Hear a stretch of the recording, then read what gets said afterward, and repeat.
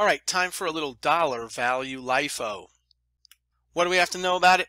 Dollar value LIFO permits application of LIFO using pools of inventory rather than keeping track of each purchase and sale, which reduces clerical errors if you don't have to keep track of each purchase and sale. So let's jump into dollar value LIFO. The exam gives us ending inventory in current year dollars. That means inflated dollars. And that's 12,800 in our first example here. So the exam is going to tell us that ending inventory in current year dollars is 12,800. The problem is that ending inventory figure includes inflation since the beginning of the year. How do we know? Because the exam will provide a price index of 1.1. Or they might say that there was inflation this year and prices have increased 10% since the beginning of the year prices up 10% in one year, that is pretty high inflation. So what does the price index allow us to do? The price index allows the entity to determine the increase in their inventory from beginning of the year to the end without the effects of inflation. So once again, we're going to assume that ending inventory is 12.8, but if prices have risen 10% this year, then how much would ending inventory be if prices had not increased 10%? To answer that, we have to convert ending inventory from the current inflated dollars back to what's called base year dollars. So they told us 12,800 is ending inventory, but that is at current year dollars, they told us. And the prices have gone up 10% this year. So if we want to factor out inflation, we would divide by the price index given at 1.1 and we'll get 11,636 for our ending inventory. Now you would expect it would be a lower number because we're factoring out inflation. We're starting with an inflated number and we want to factor out inflation and get our ending inventory without inflation. So of course it'll be a lower number. If you came out with a higher number here, higher than 12,008, you know you did something wrong. Maybe you multiplied the 1.1. So dividing 12.8 by 1.1 will give you this lower number, and that'll be your inventory, ending inventory at base year prices. So current ending inventory is only 11,636 when factoring out inflation. With inflation, it's 12,800 that was given. So at 11,636, the ending inventory is what we call at base year cost, not at current year cost. Current year cost will be the 12,800. At base year cost, it's 11,636. Now, what do we do next?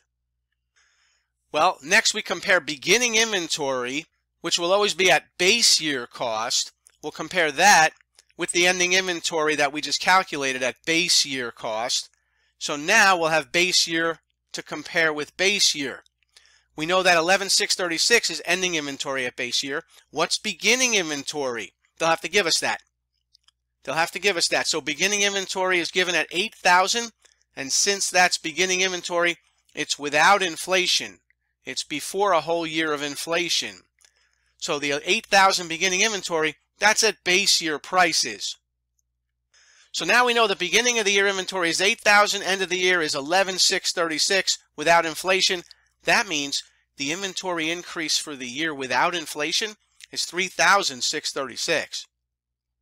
The current year increase in inventory, 3636. That's helpful to note that your inventory went up without the prices going up, 3636.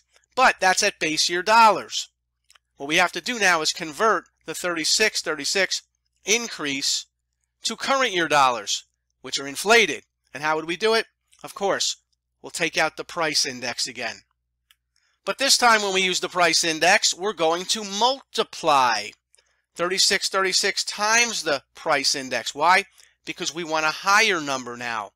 We want the increase in inventory with the inflation. We want the increase in inventory at current year dollars, which turns out to be $4,000 if you multiply the 3636 times 1.1. Now, what is that $4,000? Very important. That is the LIFO layer for this current year. So that is one thing that the exam could ask. How do you calculate the LIFO layer for the current year. So let's go back and do it again. We started with, they gave us 12,800 as ending inventory at current year dollars. We divided by the price index because what we want is ending inventory at base year dollars. We got 11,636.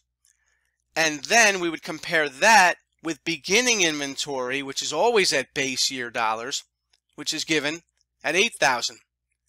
So the beginning inventory of 8,000 at base year dollars, the ending inventory that we just converted to base year dollars, 11,636, and that's a difference or an increase in our inventory without inflation, 3636.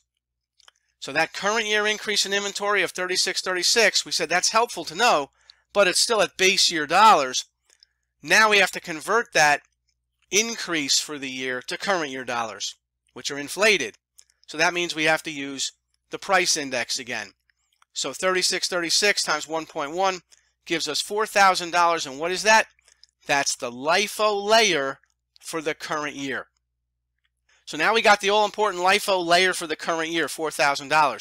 What do we need now? Well, finally, what we want is ending dollar value LIFO inventory. How do we get that? It's beginning dollar value LIFO inventory, 8,000, which they gave us, plus the LIFO layer that we calculated of 4,000, and the answer is $12,000. What is that $12,000? It's the ending dollar value LIFO inventory. It'll go on our balance sheet at $12,000. Note that the $12,000 ending inventory under dollar value LIFO is less than the 12,800 which was given to us earlier in the facts as our ending inventory. Which amount's going to appear on our balance sheet as ending inventory? The 12,800 which they gave us as ending inventory at current year dollars or the $12,000 that we calculated as dollar value LIFO ending inventory. Of course, we're going to have 12,000 on the balance sheet and it's going to be a little lower than what they gave us, which was 12,800. And that's because we did what we could to factor out the inflation. So if you see this at all on the CPA exam, it'll be a multiple choice question that looks probably a lot like this. All right, LakeCorp switched to dollar value LIFO inventory at the beginning of the year with inventory of 250,000. So we'll say that that's the beginning inventory in the year that they switched to dollar value LIFO. Inflation was high and prices rose 10%. Ending inventory at current year cost is 288,750. How much is the LIFO inventory layer? Remember, we always have to calculate that first, the LIFO inventory layer and then we can calculate the ending inventory under dollar value LIFO. So here's the facts again. How do we calculate the LIFO inventory layer? The first step is to convert the ending inventory at the current year cost with the inflation in it back to base year. And all we have to do is divide by the price index. If they tell us that prices rose 10%, that means the price index is 1.1. If they would have told us prices rose 15%, then the price index would have been 1.15. But since prices rose 10%, 1.1 is our price index. What are we going to do with that? We're going to start with that current year cost of ending inventory, 288,750, and we're going to convert it back to base year prices, and we get 262.5, which we expect to be a lower amount than the 288,750 since we're trying to factor out inflation.